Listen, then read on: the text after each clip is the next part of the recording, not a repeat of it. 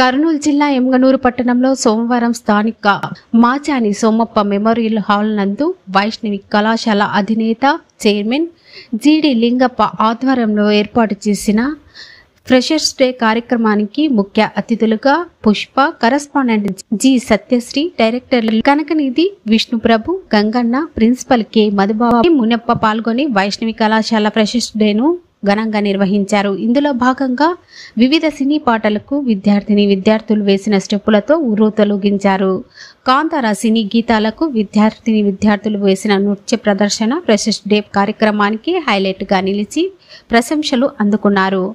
ఈ కార్యక్రమంలో కళాశాల విద్యార్థిని విద్యార్థులు అధ్యాపక బృందం తల్లిదండ్రులు అతిథులు పాల్గొన్నారు.